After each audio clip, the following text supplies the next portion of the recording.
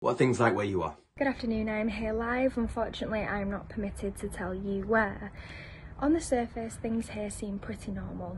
There are restrictions in place no group gatherings, no dancing, no fun. However, it is still spreading.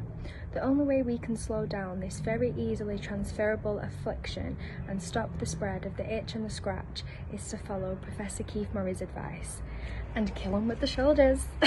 kill him with the shoulders, kill him with the shoulders, kill him with the kill him with the kill him with the shoulders.